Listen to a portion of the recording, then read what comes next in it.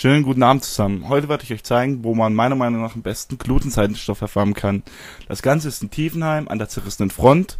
Was ihr vorher noch einkaufen solltet, ist der Trank des Schätzefindens. Den bekommt ihr bei jedem äh, Alchemisten oder auch dem Auktionshaus für 40 bis 60 Gold. Der, durch den Schatz, durch den Schatz des Tränkefindens, ja, durch den Trank des Schätzefindens ähm, findet ihr in den Mobs zusätzlichen Loot. Das sind kleine Schatzkisten, die euch auch Gold, flüchtige Elemente oder zusätzliche Stoffe bringen. Hier die Mobsgruppen, die sind so 5 bis 15 Leute groß. Kann sie perfekt wegbomben.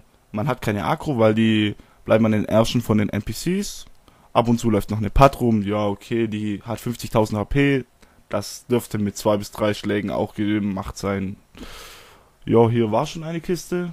Noch eine und noch eine.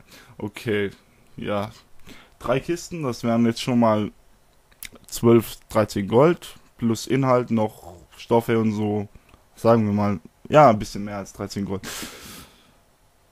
Die Respawn-Zeit von den Mobs ist wirklich klasse. Man kann sich die größten Mob-Gruppen raussuchen. Muss ja nicht. Also ist wirklich nicht anstrengend. Also man muss eine Taste drücken und dann fliegen die Mobs um. Man muss noch eine Taste drücken und dann sammeln, kann man Sachen einsammeln. Also einfacher geht's nicht. Ich hoffe, dass euch mein Video gefallen hat.